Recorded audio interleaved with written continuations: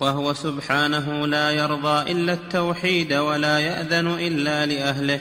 ولا يأذن للشفعاء إلا لأهل التوحيد من الأنبياء والصالحين والأولياء. نعم.